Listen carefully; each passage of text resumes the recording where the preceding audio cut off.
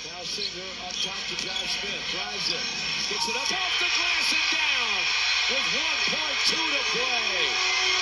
Well, first Josh Smith hits a triple. Slam dunk with a left hand by Josh Smith. They don't have rim protection. So it's one thing to keep in mind. Great idea by Prigioni to give it to somebody going to the rim. That's why he's sitting there because his team is on a run. Woo! Connor Williams' dunk attempt is blocked inside by game for Detroit.